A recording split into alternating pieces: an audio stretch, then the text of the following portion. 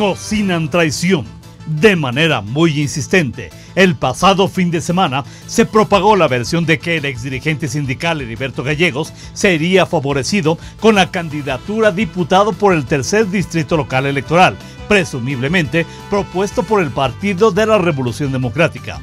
Esta versión creada aprovechando la indefinición de Cuauhtémoc Escobedo para ir por una reelección, viene acompañada de un simulado desencuentro entre Heriberto Gallegos y su socio Ramón García Alviso, a quien lo unen gasolineras, fideicomisos y hasta una muy usurera caja de ahorros que extrañamente realiza sus descuentos vía la nómina magisterial.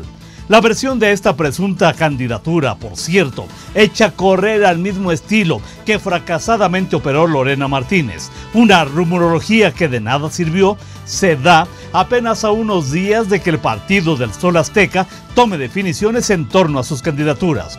Quienes conocen las entrañas del CENTE están convencidos que el pretendido pleito entre Heriberto Gallegos y Ramón García Alviso no es más que un burdo engaño para desde la alianza jugar las contras a favor del verdadero patrón de ambos, Alfonso Cepeda Salas, lacayo confeso del gobierno de Cuarta Transformación. Si no, al tiempo.